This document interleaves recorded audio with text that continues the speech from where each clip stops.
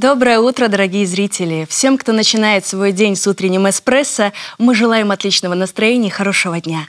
Пусть сегодня с вами случаются только радостные события, а жизнь будет наполнена приятными сюрпризами.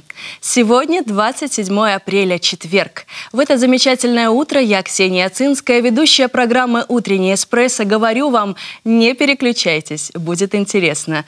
Итак, что же ожидает вас в этой программе, узнаем из анонса. Сегодня в утреннем эспрессо Услышим важную информацию о помощи детям в кризисной ситуации. Об этом расскажут гости нашей студии. Побываем на финале областного конкурса «Мисс Весна-2023».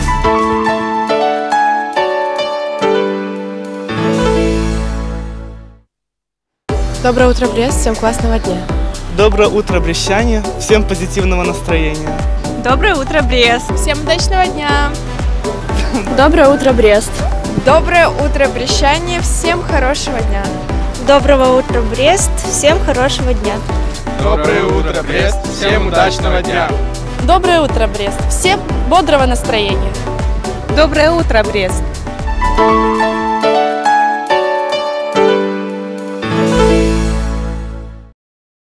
Совсем недавно ученые установили взаимосвязь между погодой и ее влиянием на человека. Оказывается, дождь наиболее тяжело переживают люди, которые хотят похудеть. Он оказывает негативное эмоциональное влияние на их психику вплоть до возникновения депрессии. Но мне кажется, дело здесь не столько в дожде, а в углеводах. Точнее, практически в полном их отсутствии, что негативно сказывается на настроении сидящей на диете представительницы прекрасной половины человечества. Ведь жизнь без шоколада теряет определенные краски. Садиться на диету сейчас или повременить нам подскажет прогноз синоптиков.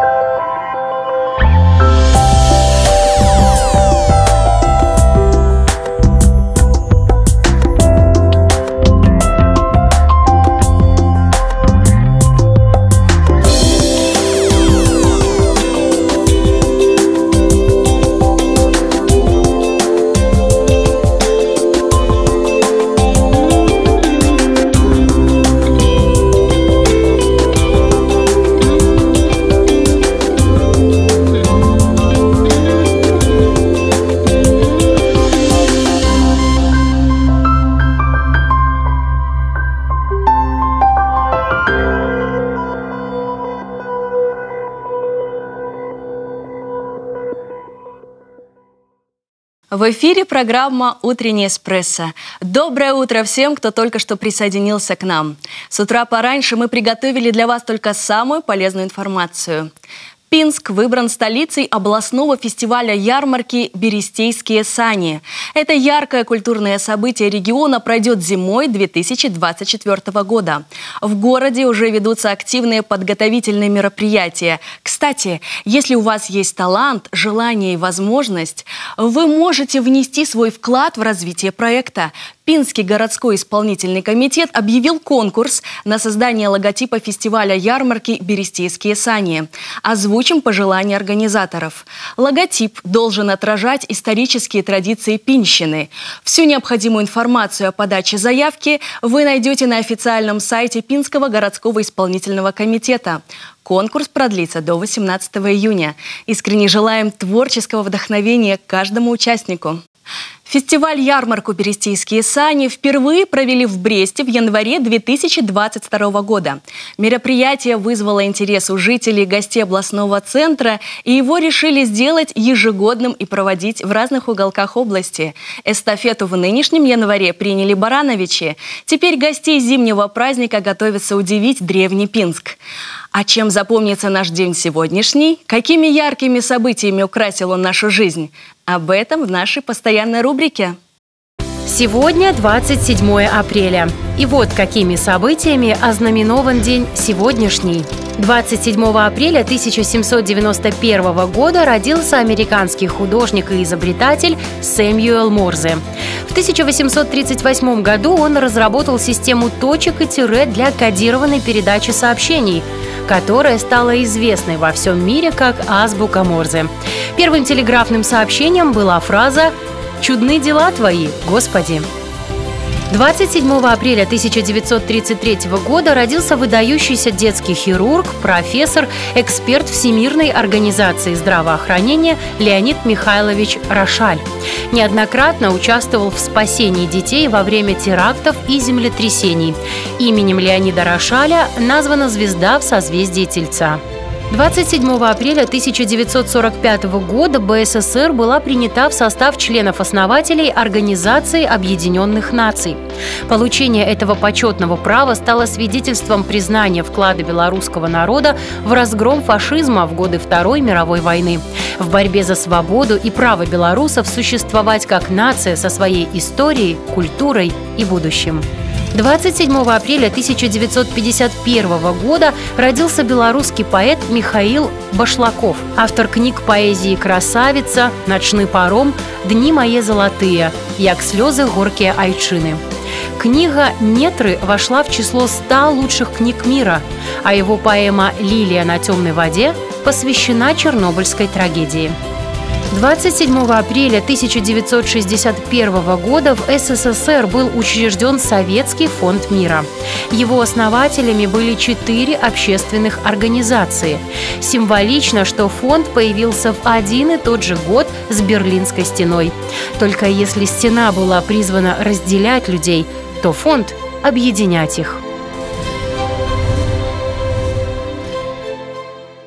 Финал областного конкурса грации и артистического мастерства «Мисс Весна-2023» прошел в Брестском государственном областном центре молодежного творчества. Участницы из разных уголков Брещины покоряли строгое, но справедливое жюри своими талантами и красотой.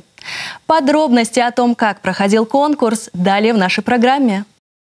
Яркий финал областного конкурса «Мисс Весна-2023» стал настоящим праздником красоты, грации и обаяния. Десять юных победительниц районных и городского этапов соревнования встретились в Бресте, чтобы побороться за почетное звание. Насыщенная конкурсная программа предлагала артистичным красавицам широкий спектр возможностей показать себя во всей красе. К слову, подобный творческий фест проводится в третий раз и существует только в нашем регионе. Конкурс для нас уникален, но он очень популярен. Девочки участвуют в нем с большим удовольствием, потому что конкурсы подобраны так, чтобы они могли показать свою грацию и красоту э, в дефиле.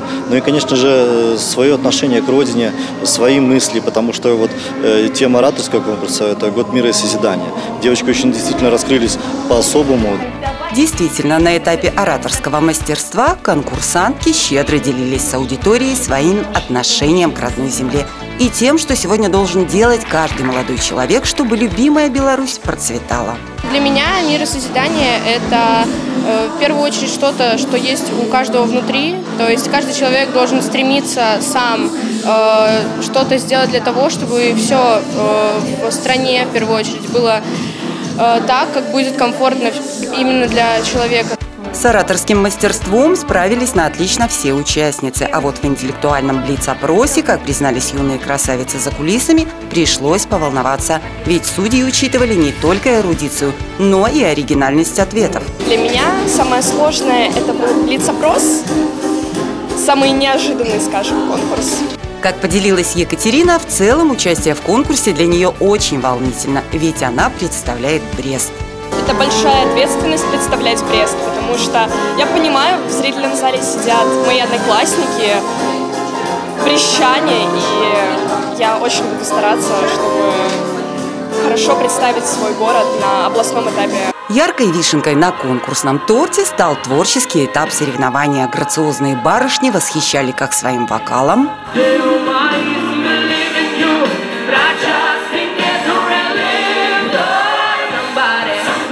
так и чудесами акробатического искусства, приводя зрителей в неописуемый восторг.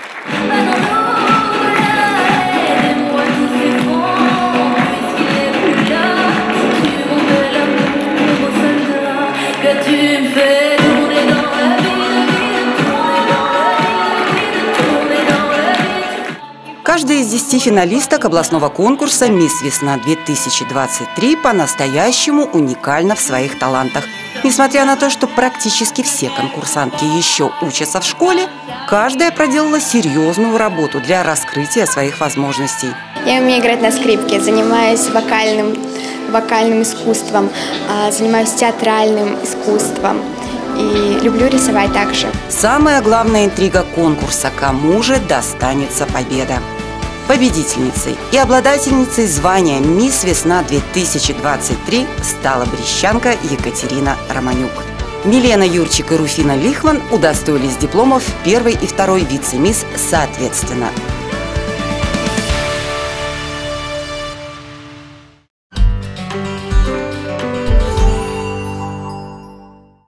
Весна в самом разгаре. В национальном парке Беловежская пуща открылся велосипедный сезон.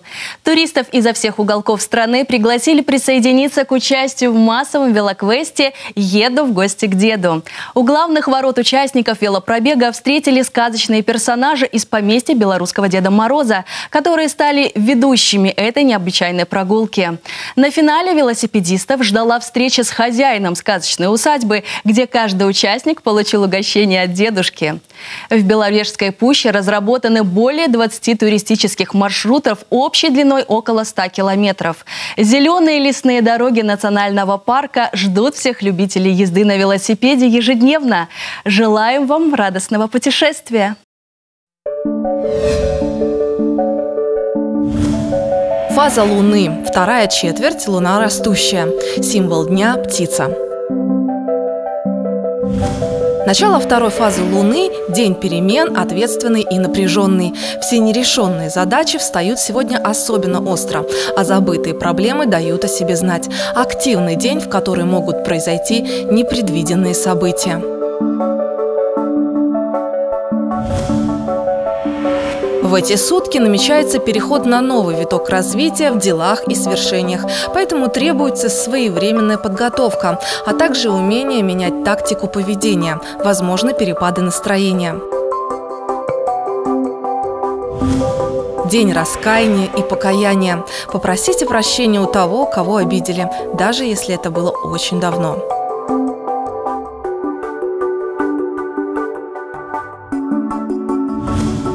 Рожденные в этот лунный день люди добиваются успеха не за счет внешних данных, а посредством своего ума, знаний, добросовестности, доброжелательности. Эти люди нередко очень оригинальны и бывают прекрасными артистами. Болезням уделите внимание, иначе возможно осложнение и затяжной характер недомоганий. В питании нужно быть сдержанным. Очень хорошо пройдет разгрузочный день.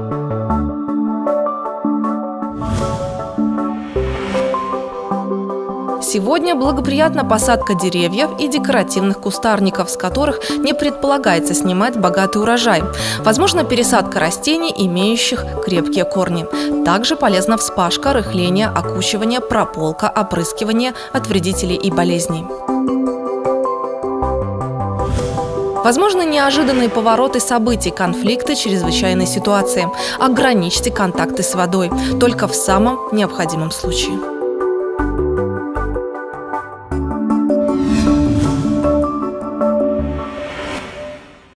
Согласно некоторым источникам, в течение жизни большинство людей проходит около 175 тысяч километров.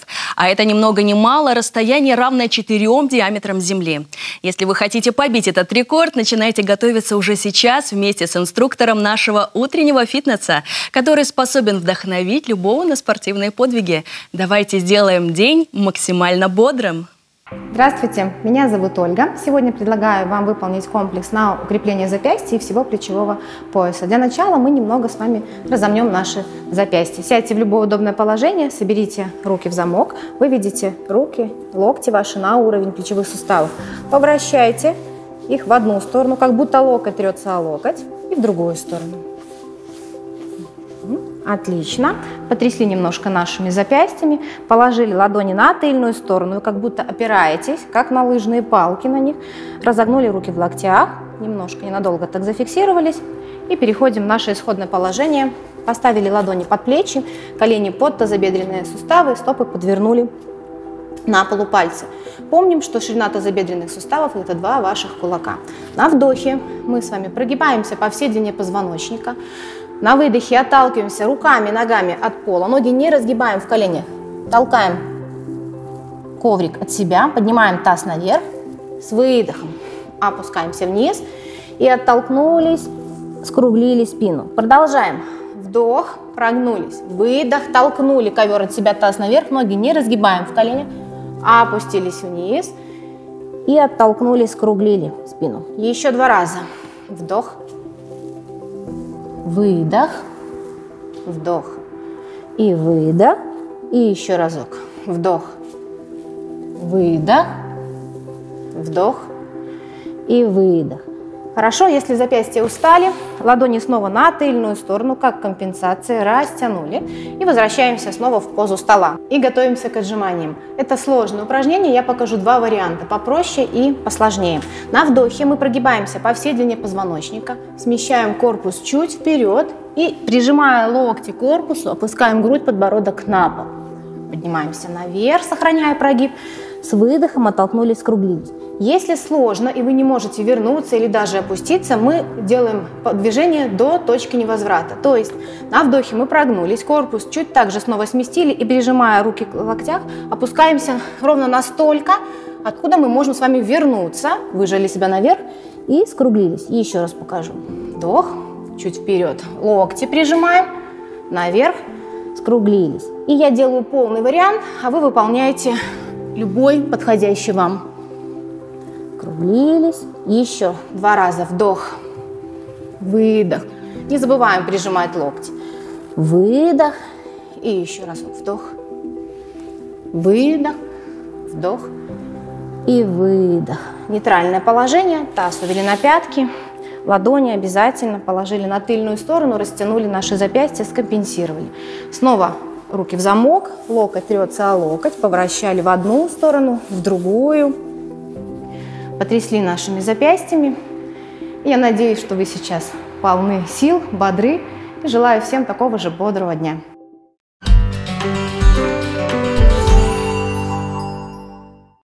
С вами программа «Утренний эспрессо», и сейчас самое время поговорить о серьезном. Не переключайтесь. В этом эфире прозвучит важная информация для защиты будущего нашей нации. Как помочь детям в кризисной ситуации? На что обратить внимание? На эти вопросы компетентно ответят гости нашей программы. В студии Ирина Николаевна Амелюк, учреждение здравоохранения Брестская городская детская поликлиника номер один, психолог-координатор Центра дружественного подросткам «Вместе» и Олеся Викторовна Липская, старший оперуполномоченный по особо важным делам Управления внутренних дел Брестского облсполкома. Защитить наших детей – предотвратить во что бы то ни стало последствия, которых можно избежать. Какова статистика преступлений на сегодняшний день? На территории Брестской области в первом квартале текущего года зарегистрировано уже 49 преступлений э, в сфере э, педофилии, да, сексуального насилия в отношении детей и подростков. И 13 из этих преступлений относятся, к сожалению, к категории тяжких, особо тяжких. Это говорит о том, что все-таки проблема есть, э, нужно с ней бороться, что мы, соответственно, и сделаем, и почему мы здесь находимся сегодня. Как рассказать ребенку, как подобрать эти правильные ключи для диалога, чтобы корректно он услышал, понял, не испугался? Самое главное, чтобы сам родитель не испугался. Сам родитель не испугался. Да, чтобы он э, в ситуации, которая случилась там, или что-то произошло, он был сам спокоен, спокойно мог э, принимать всю информацию, которую говорит ребенок, и ни в коем случае не обвинять, не стыдить ребенка, не э, возвращать фокус вины на, на самого ребенка. Хотелось бы отметить, что в первую очередь необходимо разделять э, два вида преступлений противоправной деятельности в отношении детей и подростков, что касается сексуального насилия.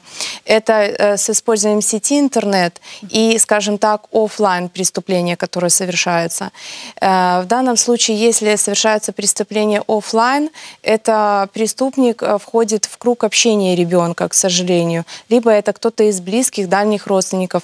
Возможно, это может быть а, отчим, либо же сожитель мамы.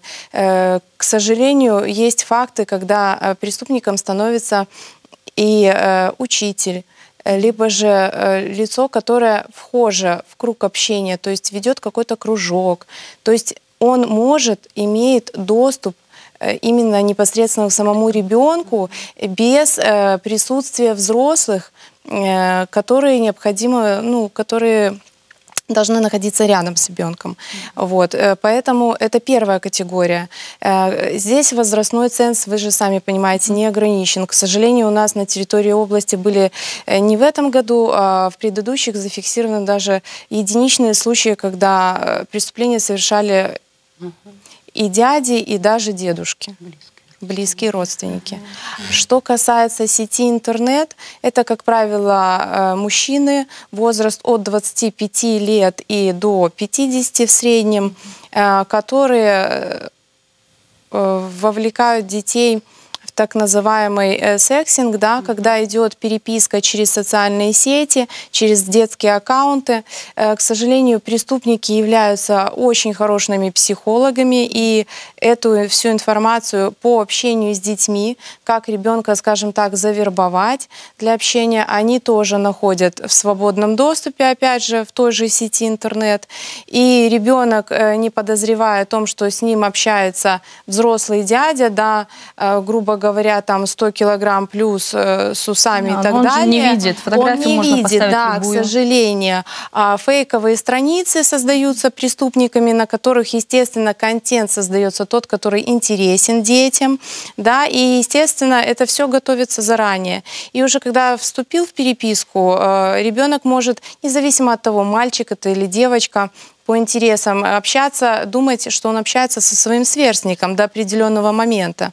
И общаясь со своим сверстником, естественно, у них образуются такие дружественные, доверительные взаимоотношения, да, после чего переписка становится Э, более личные, да, где-то просятся с той стороны, со стороны преступника фотографии просто, где-то обнаженные, да? но это уже впоследствии, впоследствии, то, про что я говорю, да. Сначала это все плавно происходит, сначала просятся какие-то обнаженные фотографии, и уже, да, скажи, покажи, расскажи, так как бы невзначай переводятся темы, ребенок, естественно, с точки зрения развития психологии, он не готов к этому, не понимает, где здесь подвох, скажем так, и преступник уже полностью полностью уже завладев его э, психоэмоциональным состоянием, э, он уже просит и фото-видеоматериалы, чтобы ребенок изготавливал даже порнографического характера. И ребенок, опять же, не задумываясь о последствиях, э, он изготавливает и скидывает, да, включается в процесс.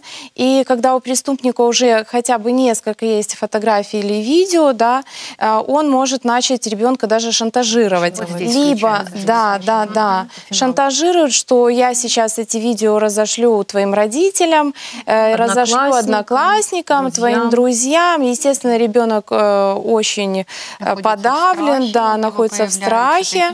И вот здесь, к сожалению, ребенок уже находится на крючке у преступника, и преступник противоправную деятельность продолжает. Mm-hmm. Опять же, вот очень актуально сказать, мы как правоохранители просим, чтобы родители разговаривали, очень важно, со своими детьми и рассказывали вот, э, о возможных таких ситуациях. Не умалчивать, не, умалчивать, не бояться, не чтобы стесняться. дети не боялись, не стеснялись. Если какая-то странная переписка, они подошли и рассказали. Если не родителю, то социальному педагогу в школе. У нас Либо такие факты есть. Да. Возникали то есть, чтобы ребенок не боялся спрашивать неудобные вопросы у родителей, любые, на сексуальные темы в том числе. Угу. И э, понимаете, когда мы видим, что все субъекты профилактики работают, и здравоохранение, и образование, и педиатры у нас в эту работу уже включены, и социальные педагоги. Но, к сожалению, если родитель не знает, как сказать, а, он может ребенка, ну, отмахнуться, скажем так, да, там, я занят, потом, потом, не расскажу, потом, а ребенок потом второй раз не подойдет. Вот у нас, к сожалению, в качестве примера можно привести, когда Э, в отношении ребенка, да, в отношении мальчика было совершено сексуальное насилие, и э, он попытался рассказать маме своей произошедшем, а мама в это время была вечером на кухне, там образно жарила котлеты, говорит, ай, на тебе вот твою любимую игру в телефоне или там видео, иди посмотри, мне сейчас некогда, я там занята что-то там домашними делами. Пренебрежение э, определенными Она, интересами скажем ребенка. так, не поверила ему, то есть, ну, отнеслась легкомысленно. И, соответственно, ребенок, взяв этот мамин телефон, ушел в другую комнату, и он замкнулся в себе. И э, потом только благодаря оперативно-розыскным мероприятиям сотрудники э, вышли на преступника. Ага, То есть это э, был не факт заявления от родителей да, о совершенном преступлении, это было преступление выявлено оперативными сотрудниками оперативным путем. И сам вот ребенок нам потом об этом рассказал. А Расскажите, пожалуйста, как меняется модель поведения ребенка? Что может случиться с ребенком? Как вот, если есть эта проблема, как увидеть ее со стороны? Знаете, так э, однозначно, конечно, сказать это сложно, но есть определенные механизмы, триггеры, да, определенные такие пункты, которые проявляются в определенных действиях после травмы. Да, то есть, ну, никто не исключает эти физические проявления, на которые в первую очередь нужно обращать внимание, это первое. А второе, есть еще момент э, в эмоциональных нарушениях, которые возникают у ребенка. Это замкнутость, да, определенный уход в себя, а, либо это нарушение контакта со сверстниками, э, либо э, это изменение в успеваемости. Да. И бывают иногда случаи, когда ребенок Э, прогуливает школу, э, не ходит в школу, да, там снижение успеваемости, либо наоборот, ребенок э, чрезмерно следит за своими оценками, отметками, стремится к каким-то достижениям. Очень. Угу, То есть угу. для того, чтобы увидеть, обличить, угу. Нужно знать своего ребенка. Это однозначно, и э, контакт с ребенком э, рождается с самого рождения у родителя. И, к сожалению, если его нет, да, либо он уходит от э, родителя, тогда родитель может не увидеть, что происходит с ребенком на самом деле, хотя он может сигнализировать всеми доступными и недоступными какими-то действиями. Как вывести ребенка на разговор? Как начать этот сложный разговор? Даже Просто. в целях профилактики. Угу. Как Просто это спросить?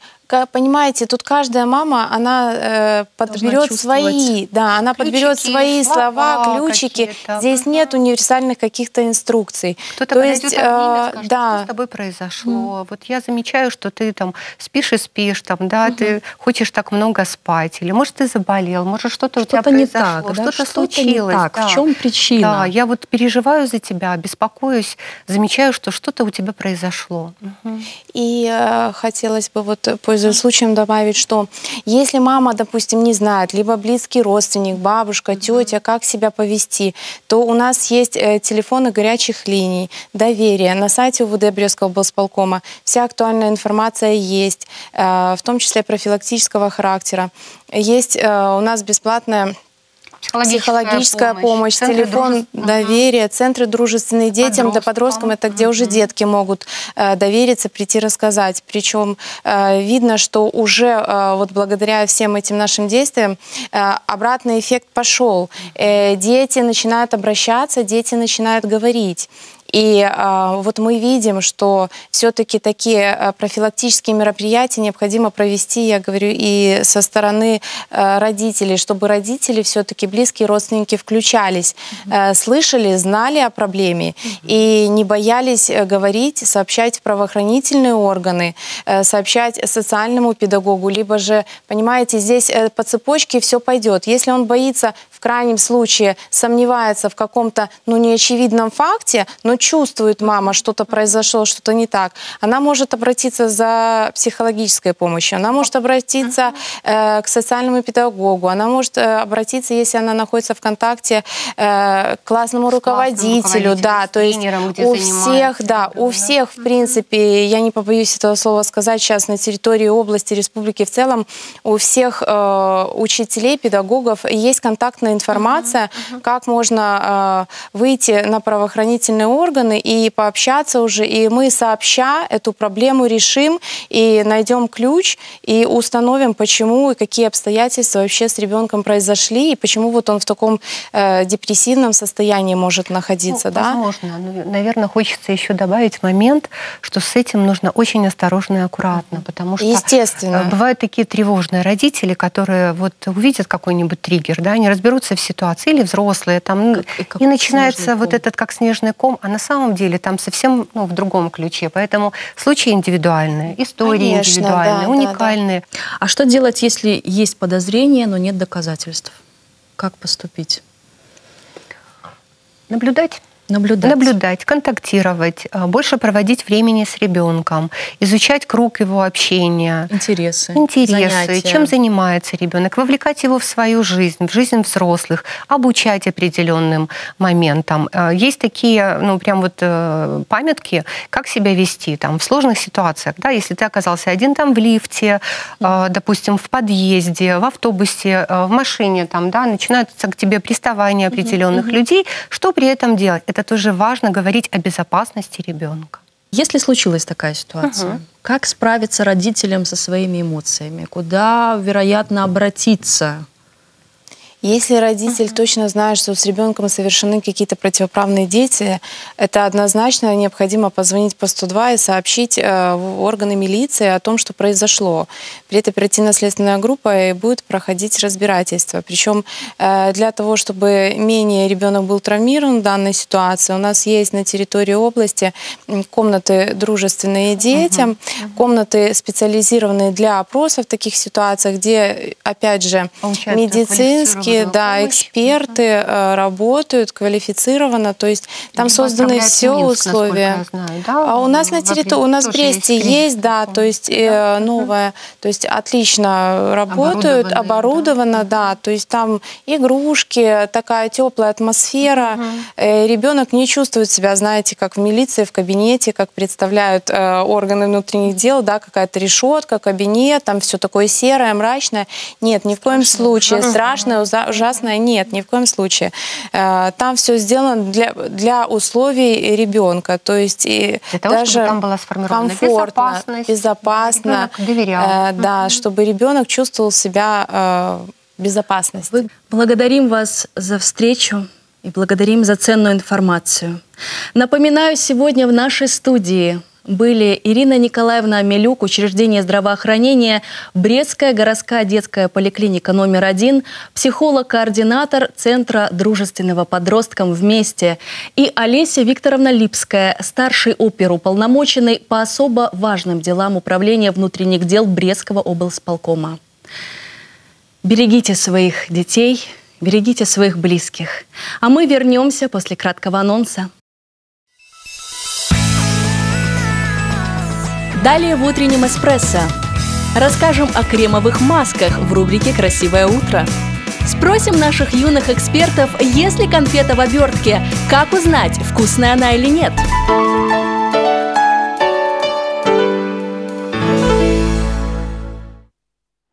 Доброе утро, Брест! Привет из Минска! Доброе утро, Брест! Всем хорошего настроения! Доброе утро, Брест! Доброе утро, Брест и Брещане! Доброе утро, Брест! Всем хорошего настроения! Дорогие брещане, доброе утро! Всем мира, добра и благополучия! Доброе утро, Брест! Всем хорошего настроения! Доброе утро, Брест! Доброе утро, Брест! Мира, тепла!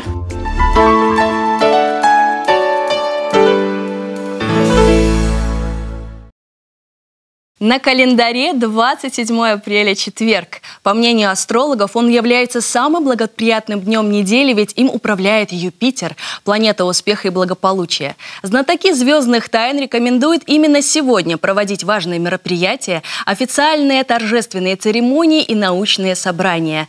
Также астрологи утверждают, что четверг – лучший день для регистрации брака. Не знаю, какие важные события у вас запланированы на сегодня, но уверена на 100% программа «Утренний эспрессо» подготовит вас к этому дню, зарядив позитивом и полезной информацией. О чем еще говорят звезды? Далее в программе.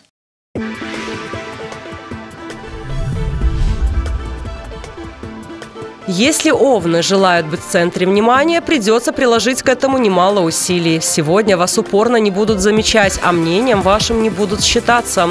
Лучше пока тихонько посидеть и помолчать.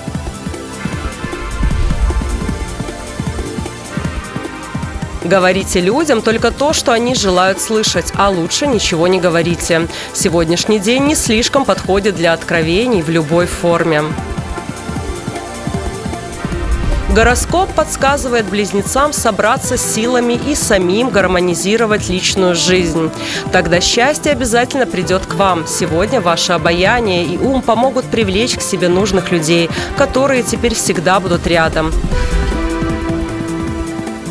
Сегодня очень велик будет соблазн все бросить и хорошенько отдохнуть. Увы, это вам вряд ли удастся. На вас будет возложена довольно большая ответственность. Сегодня львы будут полны энтузиазма, но на редкость рассеяны. Движения ваши могут оказаться довольно плохо скоординированными, поэтому будьте внимательны, особенно за рулем. Сегодня самочувствие дев должно быть стабильным и не вызывать лишних опасений. Правда, некоторым может прийти в голову, что раз организму хорошо, его можно несколько нагрузить работой. С этим будьте осторожнее.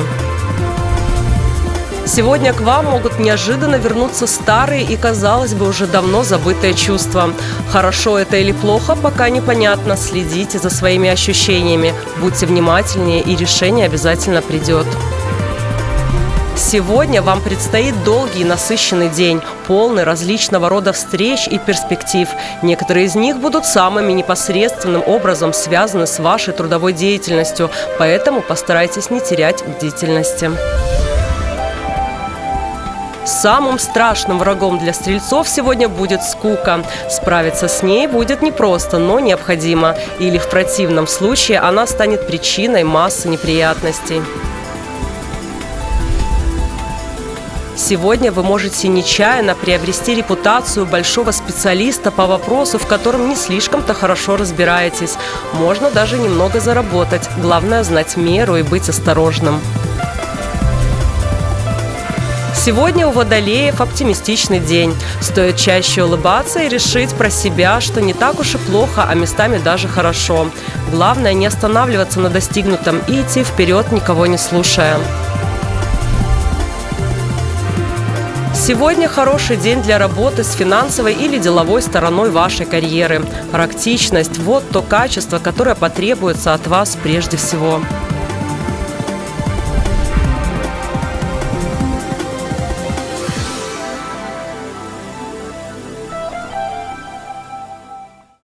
Международный научно-образовательный проект «Третий межвузовский партнерский трекинг» стартовал по инициативе Барановичского государственного университета. В проекте принимают участие 14 вузов-партнеров университета из Беларуси, России и Узбекистана.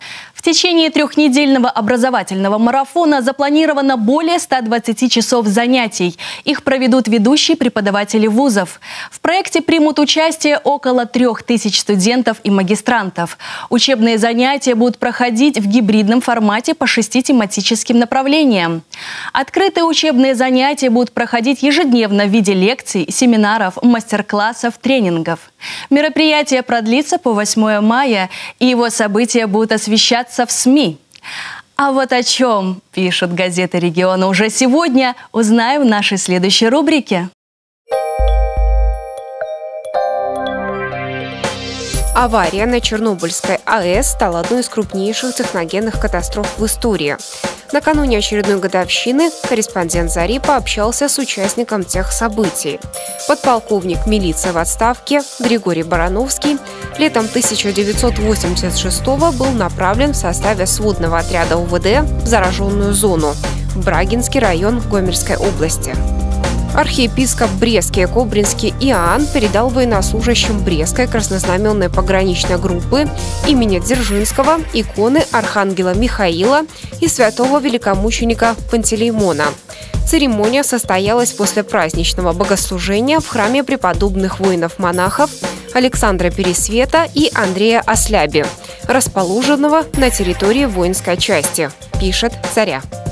На улице Волошина в микрорайоне Боровки идет строительство группы жилых домов, в которых не будет привычных батарей.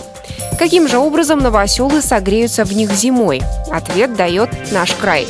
Обратите внимание, график выхода газеты в связи с большими выходными изменился.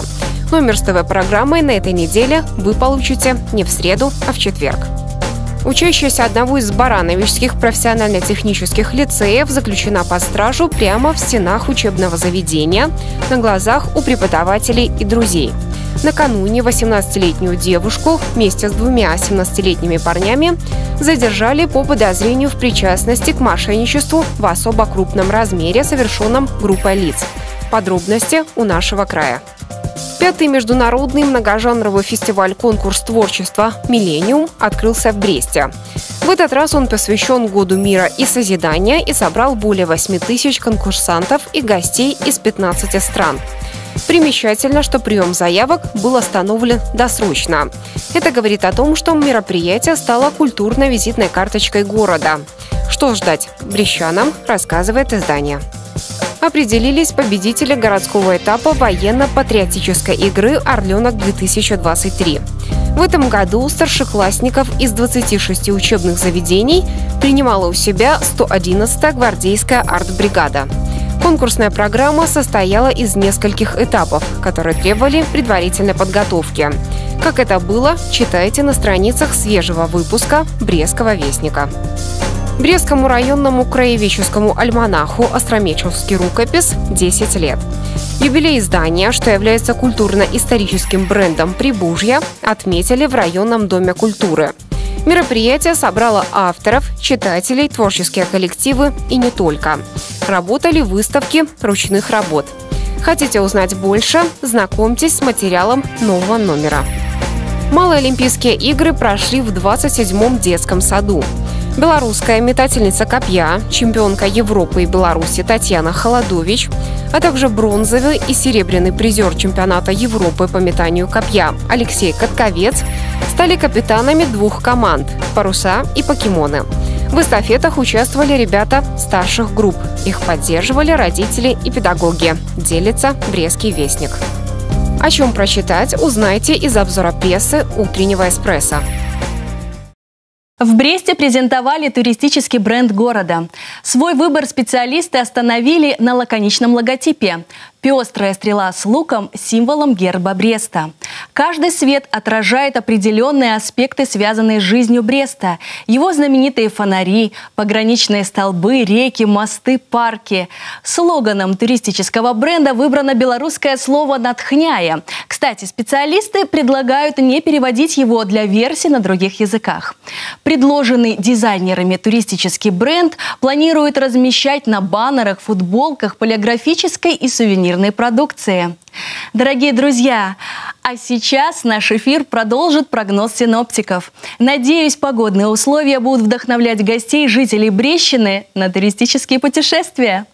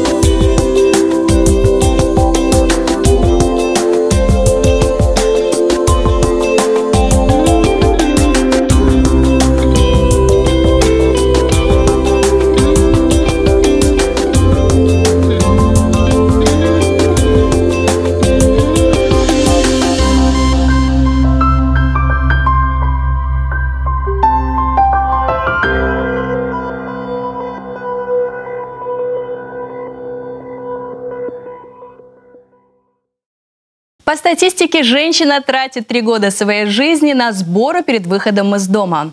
Ходе исследований эксперты установили, мужчины три месяца своей жизни проводят в ожидании, пока их любимые приведут себя в порядок. Собираясь выйти в свет, женщина прихорашивается в среднем час и 12 минут.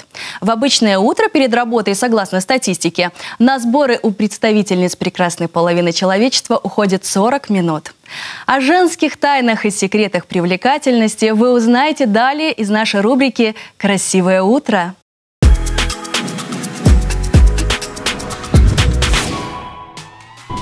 Здравствуйте, меня зовут Алина Корнелюк, я косметик пятого разряда, и сегодня мы поговорим о важной теме – кремовые маски. Кремовые маски бывают разных типов, и сейчас я буду готовить нашу модель к нанесению и подробно рассказывать про них. Первым этапом всегда при кремовых масках мы делаем очищение. Очищение происходит с помощью водички и очищающих средств.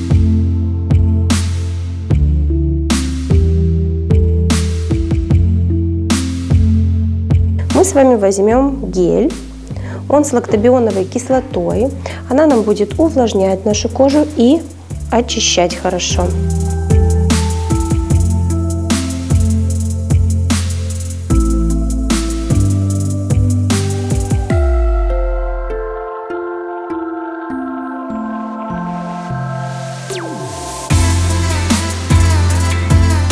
Следующим этапом обязательно делаем энзимный пилинг. Он нам будет очищать роговевшие чешуйки кожи, а, разрывая наши связи между ними. При этом все остальные препараты еще глубже проникнут и сделают свой эффект. Наш энзимный пилинг представлен в виде геля. Хорошо втираем в течение 15 минут, разносим и энзимы работают на коже. Любой энзим, который бы вы не возьмете, или с профессиональной косметики, либо с масс-маркета, будет работать тепло плюс вода. Так раскрываются энзимы и оказывают свое активное воздействие.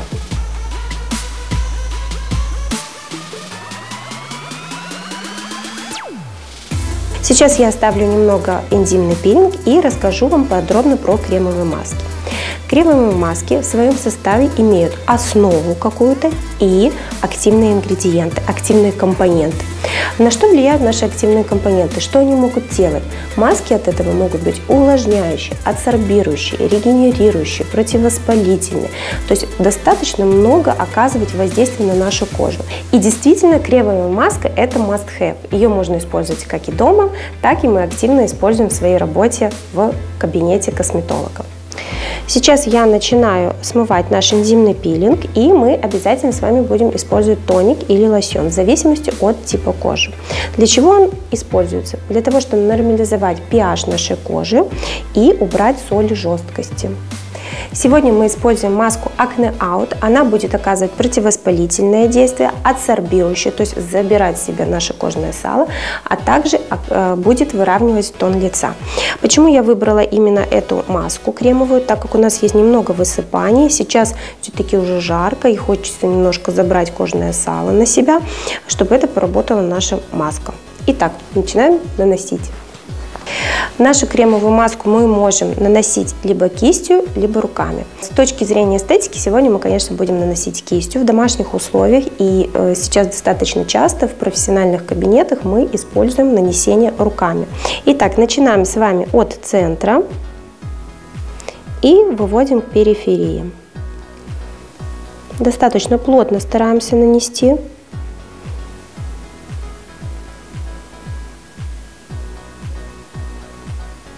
Эту маску мы не наносим близко к глазам. А, в зависимости от производителя, уже тоже будете читать в инструкции, можно маски и ближе наносить, но эту именно мы не наносим. Не забывайте про подбородок.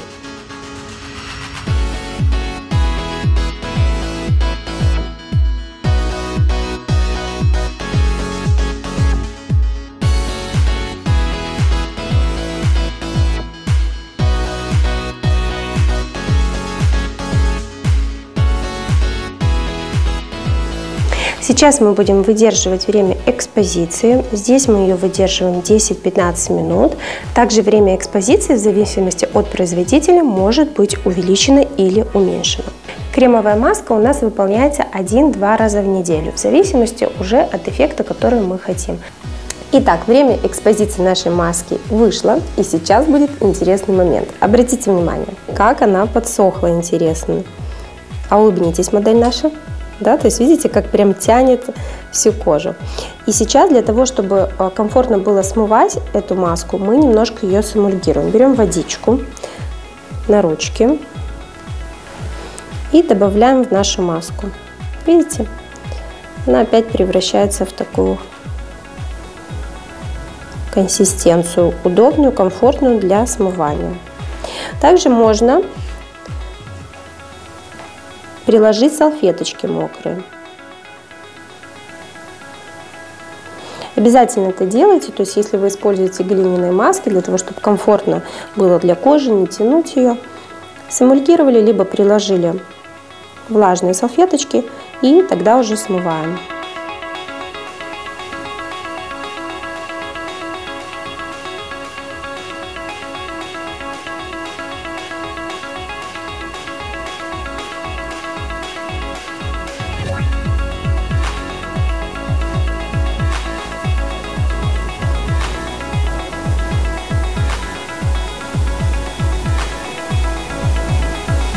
После того, как я смыла маску, сейчас я буду обязательно использовать тоник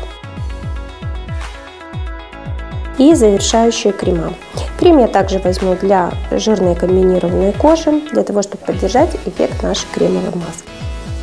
Кремовая маска – это та процедура, после которой вы получите сразу красивую и сияющую кожу. С вами была Алина Корнелюк. Берегите себя, красивой и здоровой вам кожи.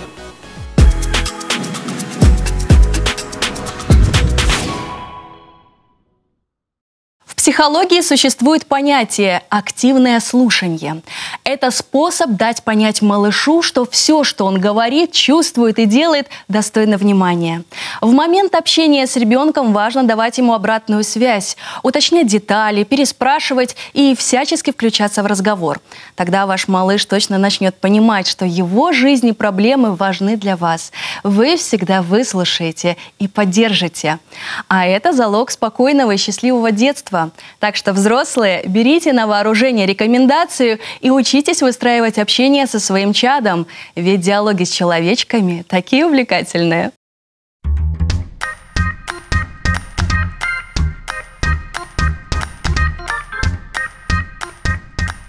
Если конфета в обертке, узнать, вкусная она или нет, там может быть написано на конфете или нарисовано какого она вкуса. Конфеты в обертке можно узнать, потому что когда э, какого она вкуса, например, если она яблочная, то на, там нарисовано яблоко. Все конфеты вкусные, даже конфеты. Они, они невкусными не могут быть. Открыть и съесть. Можно посмотреть на обертки. Можно узнать, потому что на упаковке будет написано, э, например, она клубничная или она яблочная. Я думаю, можно узнать, это прочитать состав на конфете. Но если конфета очень красивая, значит она и вкусная. В магазине где-то конфета может написано, какого она вкуса, срок годности. Надо ее развернуть и попробовать. Можно прочитать название и понять, вкусная она или нет. А если читать не умеешь? Значит, можно попросить маму, чтобы прочитала. Сначала надо открыть и попробовать. Если не попробовать, не узнаешь, вкусная она или нет. Я определяю на ощупь, если ну вот, она твердая, это сосательная, если мягкая, то шоколадная. Если не попробуешь, то не узнаешь. Обертке. Ну, если обертка такая красивая там, то она вкусная. Если не очень, то она не вкусная. Мне кажется, что можно прочитать э, в составе, из чего она состоит, и узнать, вкусная она или нет. Если конфета в обертке, можно только предположить. Но красота бывает иначе.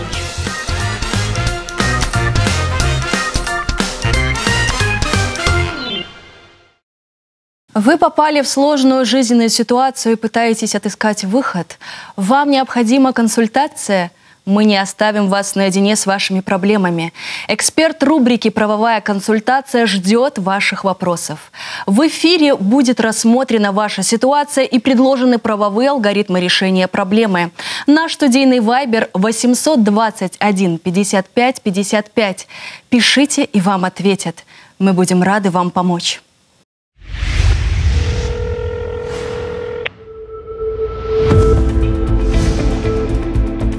У бывшего мужа, который не работает, большой долг за неуплату алиментов. Может ли судебный исполнитель принять меры по его трудоустройству? Обязанность судебного исполнителя по трудоустройству должников при исполнении исполнительных документов по денежным обязательствам не предусмотрена действующим законодательством. Но отмечу, что исключение составляют обязанные лица, с которых взыскиваются расходы, затраченные государством на содержание их детей, находящихся на гособеспечении. В вашей ситуации судебный исполнитель может выдать должнику направление в Центр занятости и социальной защиты населения. Причем эта мера имеет смысл лишь в том случае, если должник сам желает работать. Задавайте ваши вопросы по телефону, который видите на экране. Также вы можете посмотреть эту рубрику еще раз на сайте trkbrest.by в разделе программы «Утренний эспрессо». Всем хорошего дня!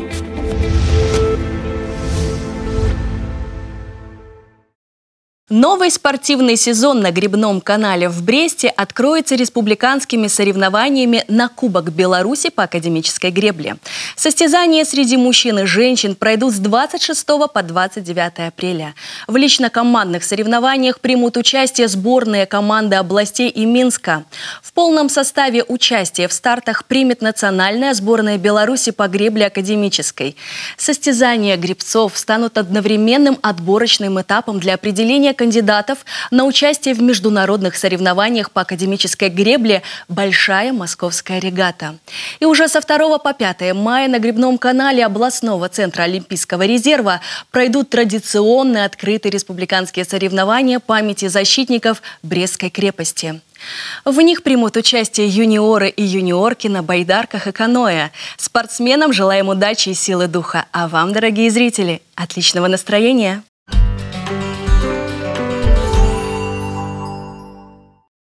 Как сказал поэт Роберт Рождественский, «Пусть не меркнут огни ваших радостных глаз. Я хочу, чтобы вам повезло. Я хочу от души, чтобы стало у вас и в судьбе, и на сердце светло». С вами была программа «Утренний эспрессо» и я ее ведущая Ксения Цинская. До встречи! Thank you